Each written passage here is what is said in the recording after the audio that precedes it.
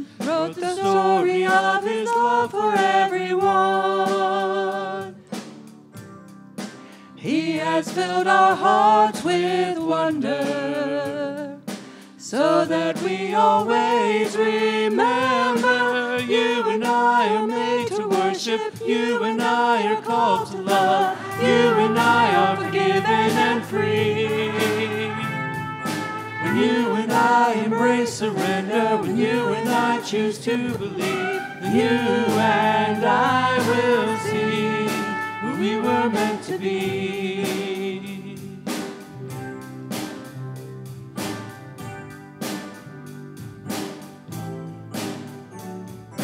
All we are and all we have is all a gift from God that we receive. Brought to life, we open up our eyes to see the majesty and glory of the King. Has filled our hearts with wonder so that we always remember you and I are made to worship, you and I are called to love, you and I are forgiven and free. You and I embrace surrender, when you and I choose to believe, then you and I will see who we were meant to be. Even the rocks cry out, even the heavens shout at the sound of his holy name. So let every voice sing out, let every knee bow down. He's worthy of all our praise. You and I are made to worship, you and I are called to love, you and I are forgiven and free. When you and I choose to believe, then you and I will see we were meant to be. You and I are called to love, you and I are forgiven and free. When you and I embrace surrender, when you and I choose to believe, you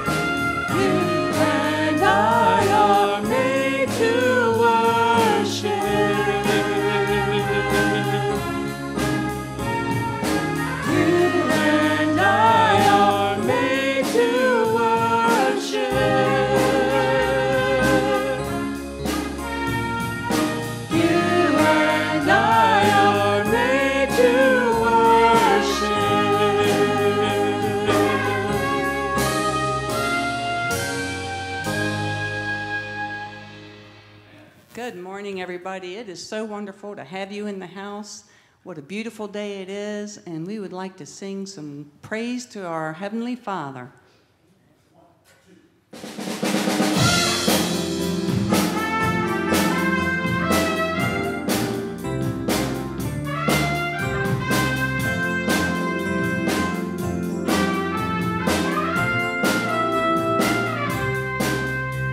Give thanks to the Lord our God love endures forever. For he is good, he is above all things.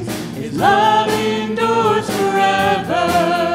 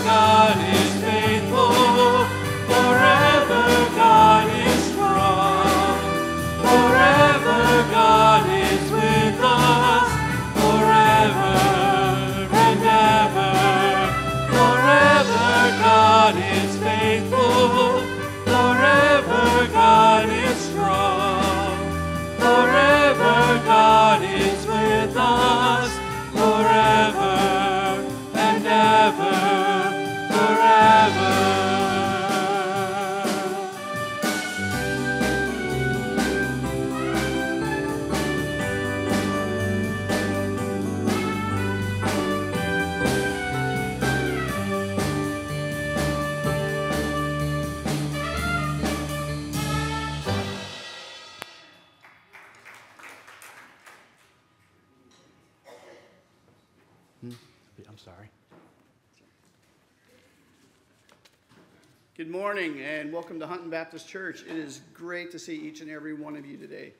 Uh, I do have a request if you are a first time visitor, um, we do have a welcome card in the pew in front of you. If you would just fill that out and you can put that in the offering plate or you can hand that to the pastor uh, at the end of the service. And if there's any information you want to put on there or any requests that you want to put on there for prayers or needs, just go ahead and do that. Uh, it's a way for us to be in touch with you, also be praying for you, and just letting you know thank you for being here. Um, I hope you know this is a place that's warm and welcoming, that will always love you, and is uh, such a great place to serve God. For those that are with us each and every week online, thank you again being there all the time. Um, I look every week to see the numbers, and we appreciate. And we know that's more than what's there. So we'll see like two, 10 to 13 people, or even 15 people, but we know your household is there, and we appreciate you being a part of the service and being a part of this church. I have some announcements for you. Um, I'm going to turn to page three in your bulletin. I have quite a few today, um, so I'm going to try and go through those fairly quick. But I want to go over the calendar events because this next Sunday is going to we change back to our traditional doing two services. So I just want you to be aware of that. So Monday the office will be closed because of Labor Day. I hope you all have a wonderful Labor Day. Um, Tuesday uh, there's breakfast for the Longdale Elementary School staff. That's at 6:30 a.m. Um, Wednesday is the music department that evening. They're doing their tasting party. Um, just to be aware of that. Saturday, September 9th, is uh, Irvin Vesley Junior Memorial Service. So you have at 1 o'clock, you have the visitation, 2 o'clock, you have the service on this coming Saturday. And then next Sunday, everything changes. We go back to that, that normal routine. 8.30 a.m. will be the first service. 9.45 a.m. will be Sunday school, and 11 a.m. will be worship. And then we start our evening activities also on that day. So, 4 o'clock, the youth will be at choir, then go to youth group. Um, and we will have a dinner, but we're only doing dinner once a month um, during this season. So, of, we're trying something new. Um, so, once a month will be dinner, and it'll be the first of every month. So, we're going to start out with a dinner. And then also the youth, uh, the children will be at four o'clock, will be their Bible study. Then they'll go to music, and then there'll be dinner that follows. And the adults will be at five o'clock. If you turn over to page five, if you look at the one section there, and I'm not going to go over everything in this today, but just know that on Saturday, September 23rd, is the new date for the men's uh, breakfast. And so, and if you would like to come to that men's breakfast, please sign up by September 11th, Monday, September 11th, and it's at the bottom of the page. You can look at that information. Um, you can get a hold of Joe Truslow and let him know that you're interested in coming to that breakfast. Also, this month is our Alma Hunt offering month. So in September, we are raising money for the Alma Hunt offering, which goes into the Women's Ministry uh, Missionary Union and that's through the BJV of Virginia, who is a part of who we are. And so that anything we can do to help that ministry, any funds that we can do there, will go to keep that moving along through the year. So another one I want to touch base with you on is that the beginning of each month in our church is the benevolent fund. So the first of every month we do the benevolent fund. So any loose change that's put in or loose dollars that are put into the offering, that goes to the benevolent fund, which helps people in our community um, with their needs and people within the church that have extra needs. So just know that that's today that we are doing that. Also, um, Samaritan's Purse, um, Operation Christmas Child. Uh, we have boxes out in the breezeway. If you want to be a part of the uh, Samaritan's Purse and like to help out and get a child a gift for Christmas, um, grab one of those boxes. There's information in there, and you can fill that box with those needs. Now, two others I want to give you, the last two, um, they weren't in the bulletin. So, first, the monthly daytime women's Bible study will not meet in September. So, this is a will not. So, so the monthly daytime women's Bible study will not meet in September, but they will resume October 3rd. So, they will start on that month, that October 3rd at 10:30 a.m. The ladies' weekly Tuesday night Bible study, so the evening Bible study on Tuesday, they will begin on September 12th. So know that the ladies' evening Bible study will start on Tuesday, September 12th at 6:30 p.m. Let the Holy Spirit surround you today. Let it engulf who you are. Know that God is with us in this time, and may we worship our God this hour.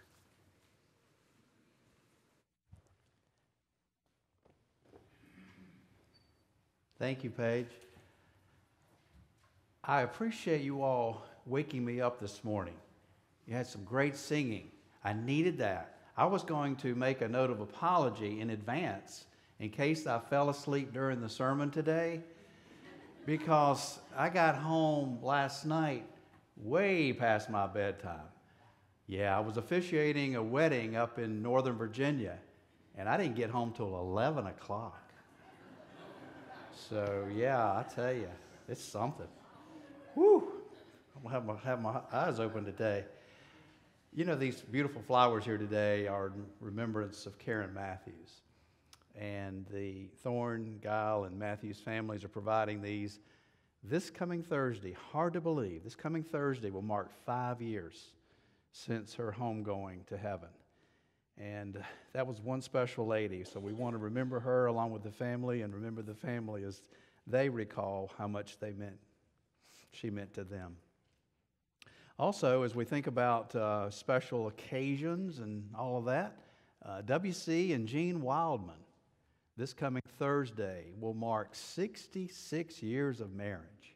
Now, we miss WC and Gene being here with us, but we know they're faithfully watching. They're among that number that Paige mentioned a while ago, watching online with us each Sunday.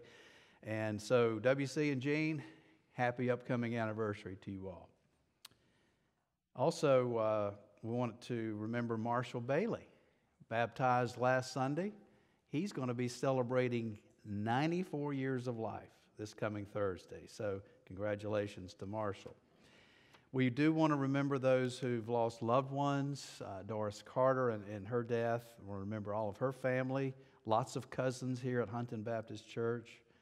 Also, uh, Harold and Dolores Bryant and the loss of uh, his niece, Natalie Rimmer, and that funeral will be in North Carolina. So remember uh, Wayne, the dad, and all of the family, um, Chad, the husband, and the two boys, and so forth, as they go through this difficult time.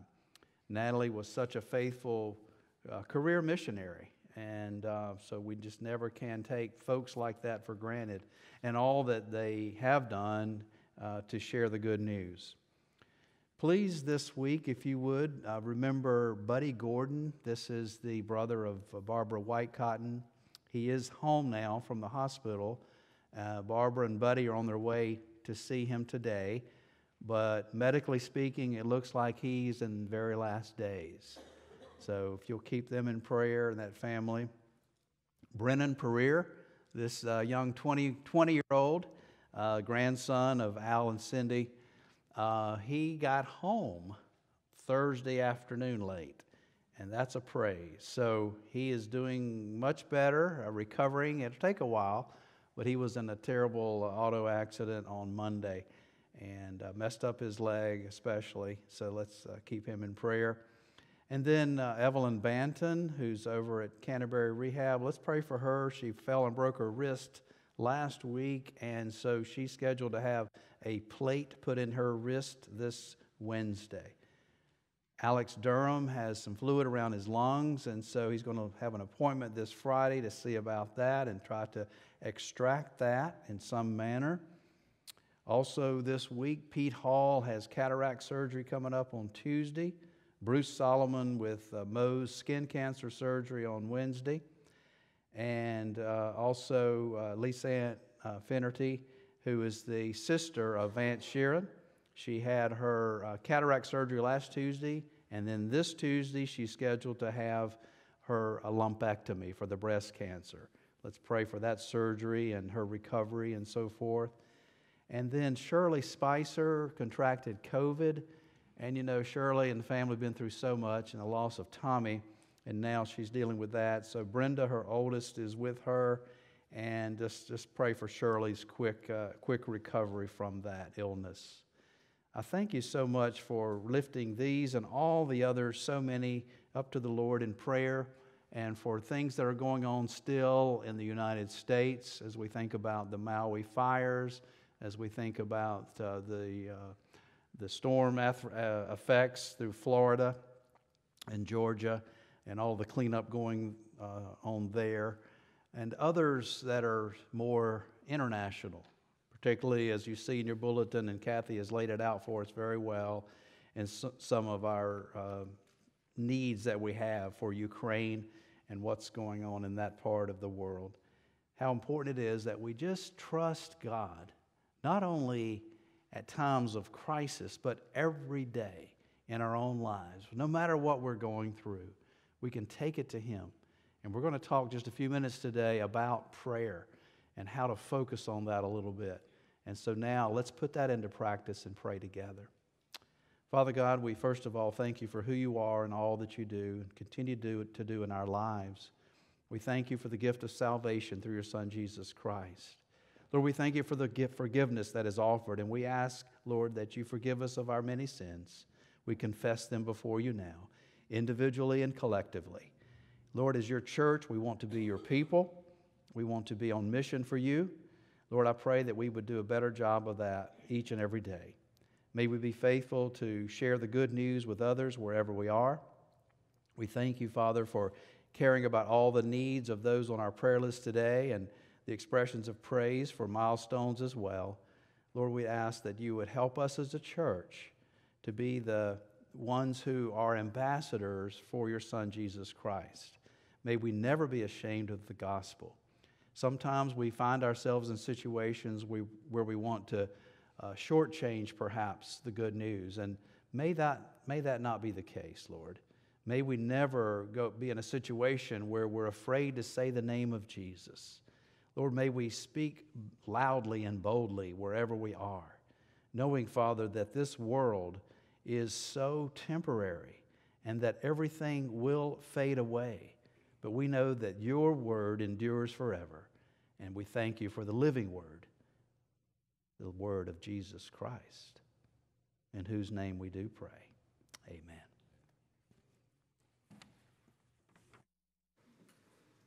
Andy is not feeling well today, so Linda's going to come up. Hi, folks. Um, I'd like to take this opportunity, anyone who would like to join us who's in kindergarten through second grade for children's worship, then you can meet me in the back, please. Thank you. Thank you. Good morning, everybody. You did a nice job on the praise songs this morning. Uh, it was very robust singing, and it really helps me, makes me feel really good and ready to worship. And we're going to continue in song right now by standing up and singing hymn 581, "Tis So Sweet," verses 1, 2, and 4. Please stand and sing just like you did for the praise songs.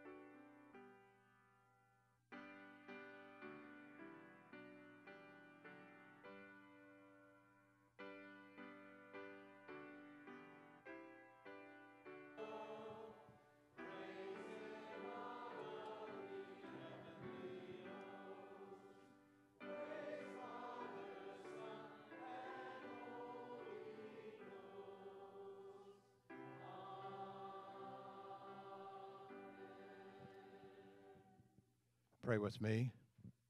Father, we thank you for the love that you give us. We thank you for your grace.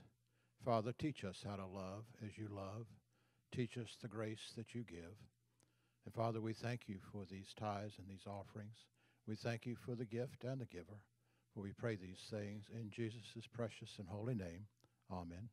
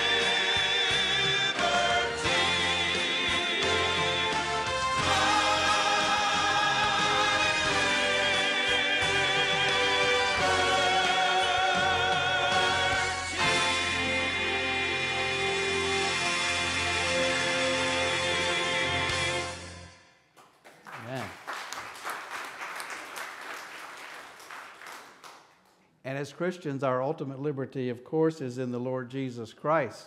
And for that, we give praise. I was uh, hearing about a young couple, and this is a sad situation. I know some of you have been through this before. so you would know. There was a couple who they wanted to have children, but the wife, uh, for some reason, could not get pregnant. So they sought out their priest and wanted to ask for advice and prayer. Well, the priest tells them that they came really just at about the right time because he had just gotten notification from his superior that he was being sent to Rome for 10 years. And he was to leave the very next day. And he said, As soon as I get there, I will immediately light a candle for you. He promised them he would do that.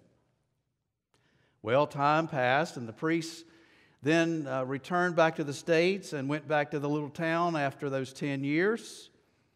The first thing he does, just about the first thing he does, he decides to go visit this young couple and see what's happening.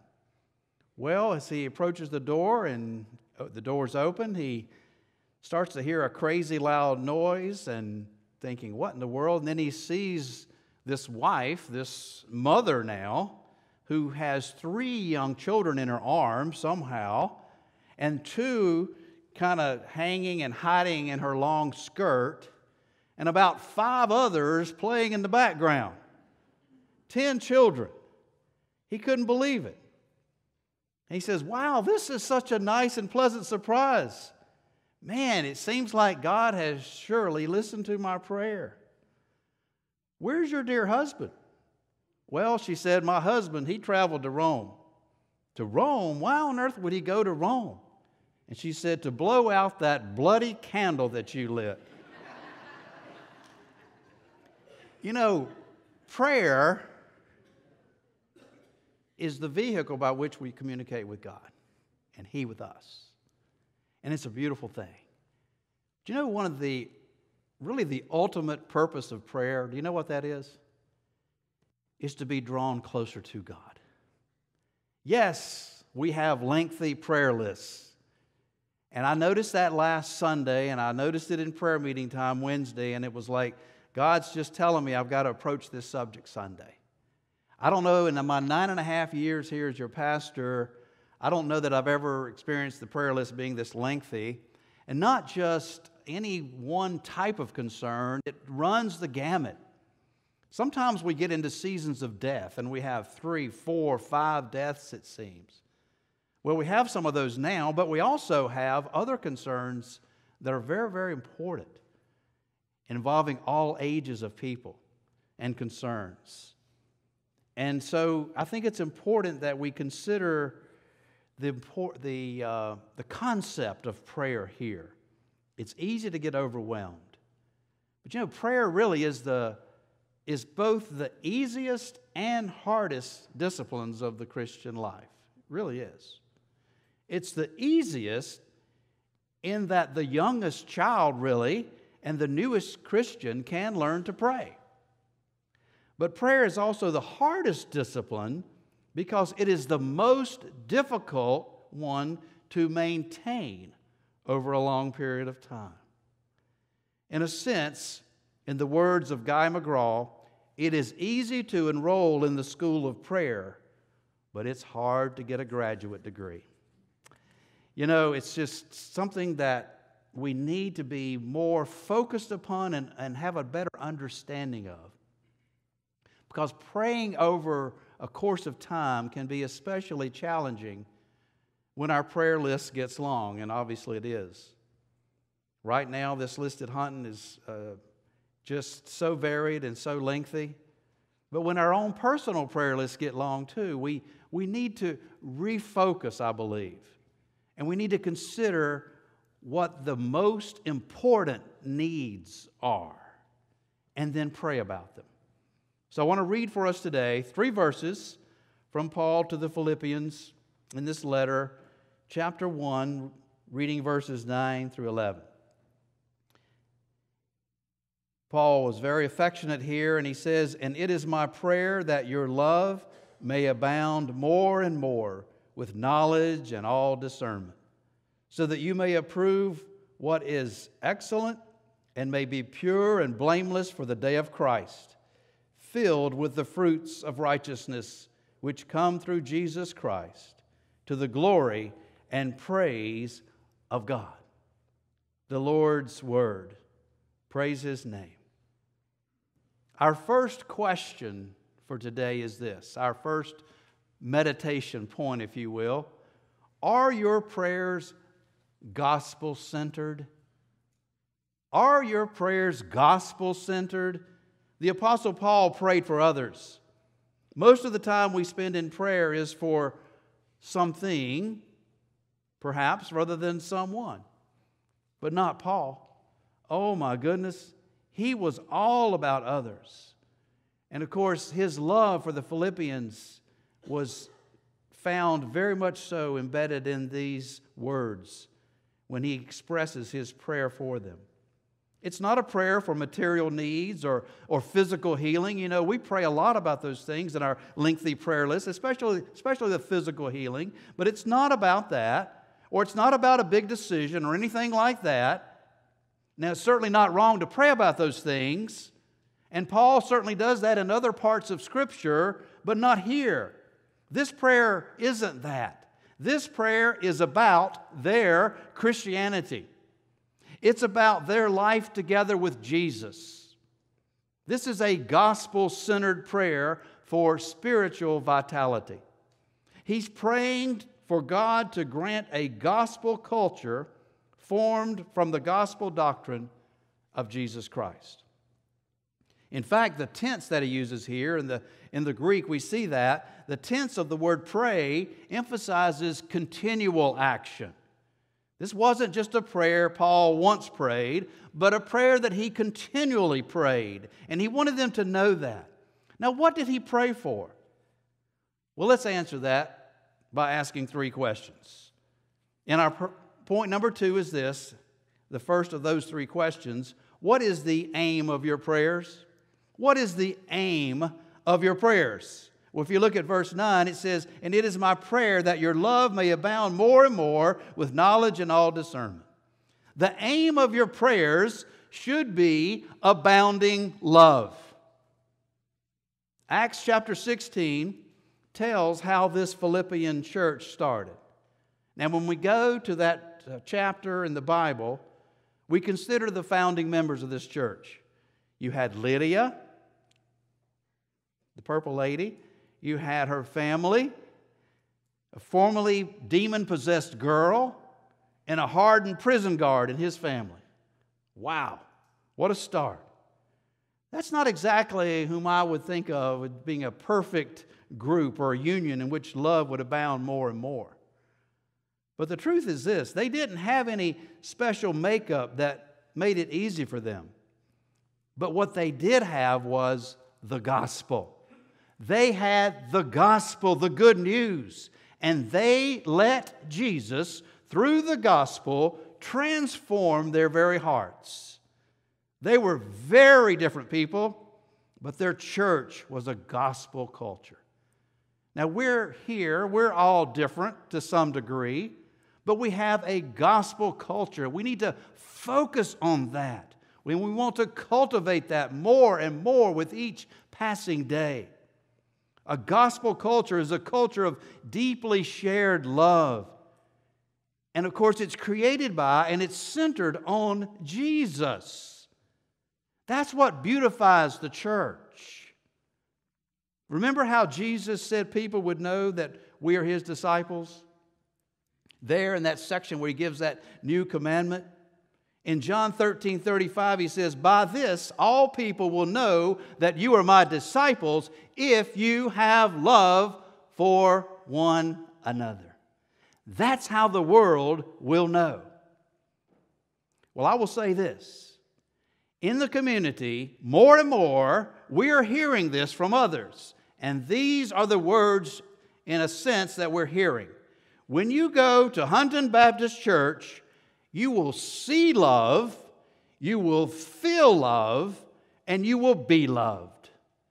The aim of our prayers should be abounding love. So when we get all overwhelmed with the extra long prayer list, we, not that we neglect the people on that list for whom we're praying, but we focus on what is most important here that that love would abound. That's the aim. What about the hope? Meditation point number three What is the hope of your prayers? Verse 10 So that you may approve what is excellent and may be pure and blameless for the day of Christ. You see, there's a hope that's attached to this prayer for abounding love. That they approve what is excellent and be pure and blameless. In other words, that they'll become a radiantly beautiful community as they follow Jesus. So, yes, radiant beauty is the hope. Again, this only comes from God. We have to pray this into existence. God alone is pure and blameless and He alone makes us so and tells us what is truly excellent.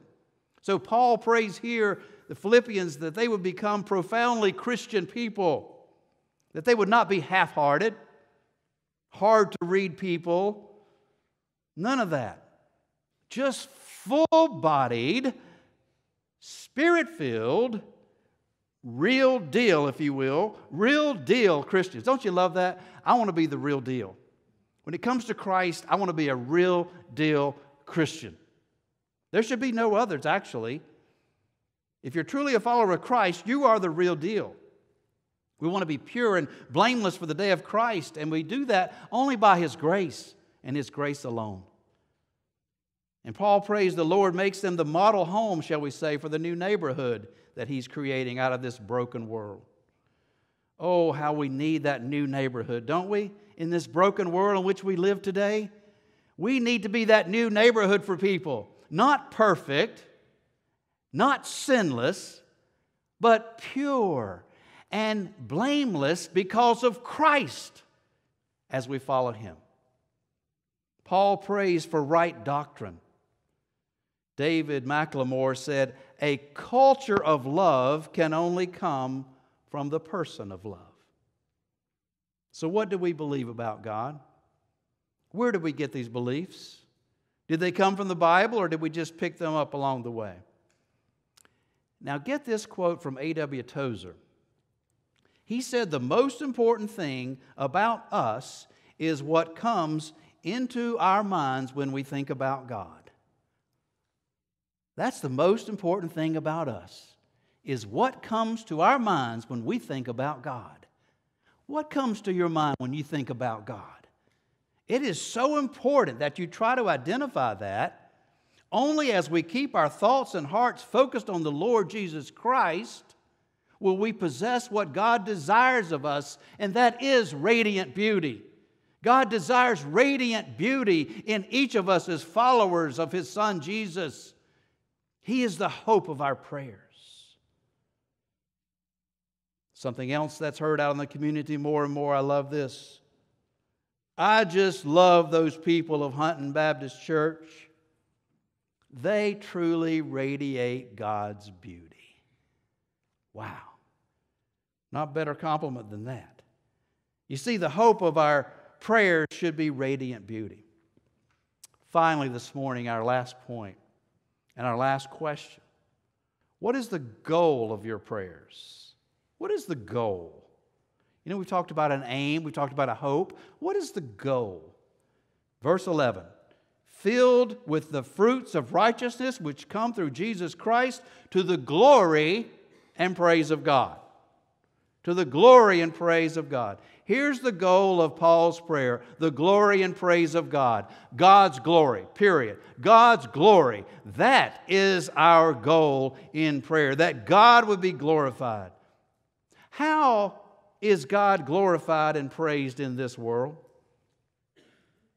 In John 15, verses 5 and 8, Jesus said, I'm the vine, you're the branches. Whoever abides in me and I in him, he it is that bears much fruit. And by this my Father is glorified. Wow, it's up to us. It's up to us. By this my Father is glorified that you bear much fruit, so prove to be my disciples. Your life in Christ is the fruit by which God is glorified in this world. Now, is that crazy or what? But it's true. When you live open before God, following the Lamb wherever He goes, you live a life of radiant beauty in His eyes. Your life, slowly perhaps, but surely enough, becomes filled with the fruit of righteousness that comes through Jesus Christ. And what is that fruit? It's outward acts of kindness and service. The good works, if you will, of Ephesians 2:10, which God prepared beforehand that we should walk in them. It's the thing Jesus does in and through you. Paul is saying that when Christ returns, how does he want to find the Philippian church and how does he want to find us? He wants us to find us being like the fruit trees at harvest time. The branches are full. Good deeds are overflowing for Christ. Their whole life is a witness to the grace of God, to what only God can do. Yes, God's got the power. He has the power if we will just open up. It was interesting when Lawrence of Arabia was in Paris after World War I and he was there with some of his uh, Arab friends. He took some time to show them the sights of the city uh, the Louvre, the Arch de, Tri- Arch de Triomphe, Napoleon, I can't even say that, I'm not a Frenchman, okay? Napoleon's tomb. Well, it seems that these Arabian friends found little interest in these things. The thing that really interested them was the faucet in the bathtub of their hotel room. They spent much time there turning it on and off. They just thought it was wonderful. All they had to do was turn the handle and they could get all the water they wanted. When they were ready to leave Paris and return to the east, Lawrence found them in the bathroom trying to detach the faucet. You see, they said, it is very dry in Arabia. What we need are faucets. If we have them, we will have all the water we want. Lawrence had to explain that the effectiveness of the faucets did not lie in themselves, but in the immense system of waterworks to which they were attached. This prayer is really the faucet that's attached to this immense system making our lives effective. All we have to do is open it and let Him, let God flow through us. He is so ready to do that. God is glorified in that. In order to effectively glorify God, we must take the time to remember what God has done for each and every one of us.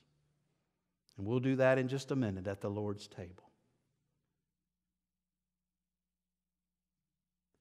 Well known Christian author and speaker Kay Arthur, she's influenced tens of thousands of people, no doubt.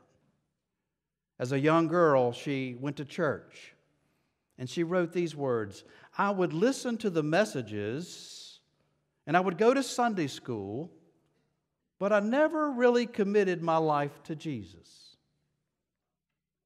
She grew up and got married and then found out that her husband suffered from a mental disorder.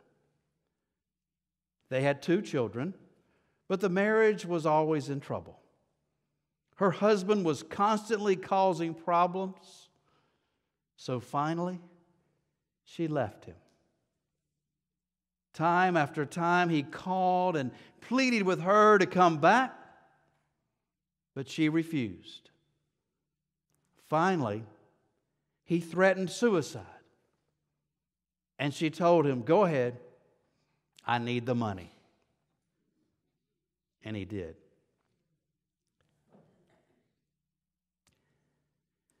Kay Arthur says that she can remember driving from the funeral. shaking her fist in anger at God and saying, Go to hell, God. Then she writes, It was like someone flipped a switch. I suddenly realized that was exactly what God did. He went to hell for me that I might go to heaven with him. We need to remember that today, friends. God was willing to do that as he gave his one and only Son, the one who paid the ultimate cost, the ultimate price, his very life. He was willing to bear the sins of the whole world. He was willing to die in our place. Not only was he willing to do it, he did it. So, as we stop this morning, really in the ultimate part of our service today, is to remember. And as we do this, may we reflect upon what God has done. And may we also swear by his name and to ourselves that we now, acknowledging that once again, desire to give our very lives back to him and live for him in each and every way that we can. Each and every day. Praying that prayer that truly that love not only would abound, but it would flood our hearts and our souls so that we would emulate the Lord Jesus Christ Himself. Let us pray. Dear God, we, we thank you again for the vehicle of prayer. We thank you that we can come to you at any moment, at any time, and breathe our prayer. And even when we can't pray, we know that your Holy Spirit groans for us in ways that even beyond are beyond words. Lord, we thank you, Father, for the giving of life that we have here on earth and then the giving of life eternal. Thank you for that opportunity that is available to everyone. But Father, we know that there are so many in this world who have refused that or have not really stopped to listen. And it may be that we are the ones they need to hear. It may be that we are the connecting piece. It may be that we are that faucet, if you will. Lord, may we be that conduit by which people will connect with you and will come to know you and to love you. So today, Father, as we remember what Jesus did, may we be willing, really, to do the same, to give of our very lives. Perhaps not physical lives and death on this earth, but perhaps through our lives in mounting in much time and energy and effort. And Lord, whatever that we're able to do by your power, enable us to do that and make us willing. Willing servants and vessels to give you all the glory. In Christ's name we pray. Amen. Our supper is open to everyone, everyone who believes. If you believe that God gave his one and only Son, Jesus, and that he came to this world, he came to this world and shared in our humanity in order that we might share in his divinity. And so he came and then he lived and he lived among us and he died. Not just an ordinary death, but it was a willing death. He gave up his life. If you believe that Jesus went to that cross on Calvary and that he hung there for our sakes, bearing the sins of the world, past, present, future, and you believe that God the Father raised him on the third day to new life, just as he promises we too will be raised, and you believe now that he's seated at the right hand of the Father, if you believe those things, then we ask you today, please join us for this most important meal. I'll ask our deacons to come now as we distribute first the bread.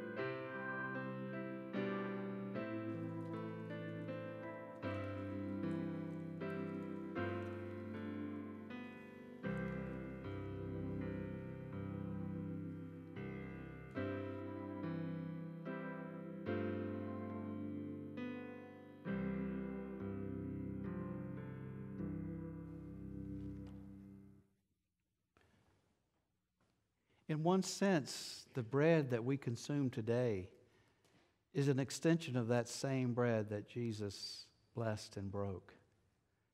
It really is. It's, it's the bread of life. As Jesus was gathered there with his disciples in that upper room, they were having this Passover meal together. He began the time, as Paul records for us in Corinthians, and he says, uh, looks around and takes the bread and blesses it, and then, then he broke the bread. And he said to them, This is my body, which is given for you. Do this in remembrance of me.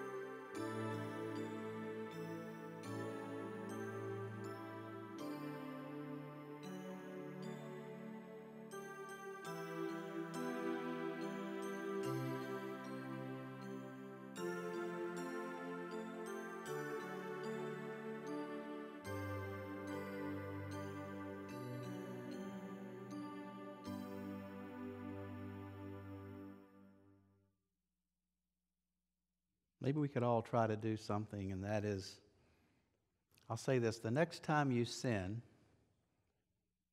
I know it may be weeks or months away, but seriously, think back to this moment and reflect upon what this represents, what Jesus did for all of us. After supper, he, he took the cup and he said, This is the new covenant in my blood, which is shed, which is poured out for you for the forgiveness of sins. As often as you drink it, do so in remembrance of me.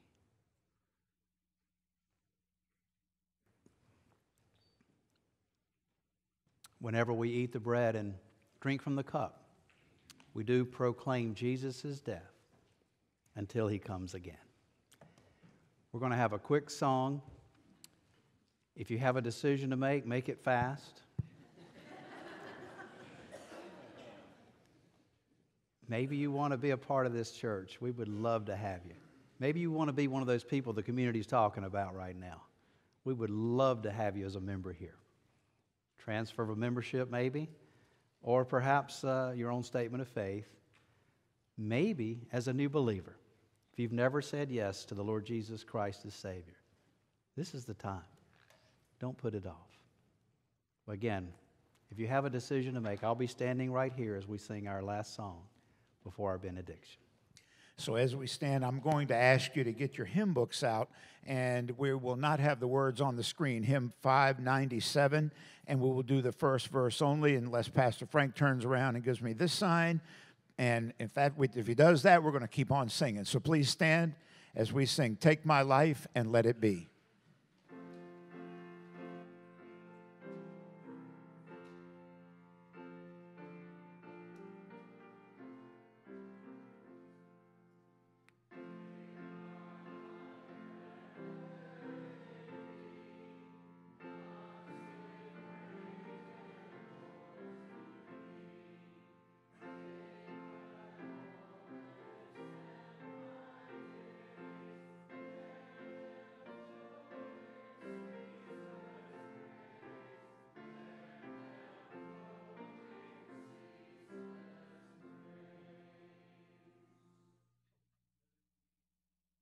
Included verse 4, which says, Take my silver and my gold.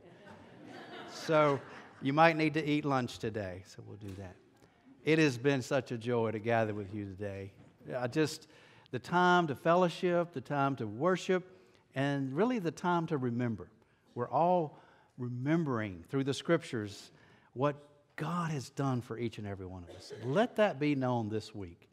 So, as a way to a rally cry as we go out, we're going to join together. You can join hands here, if you will, and we're going to sing together Blessed be the tie that binds.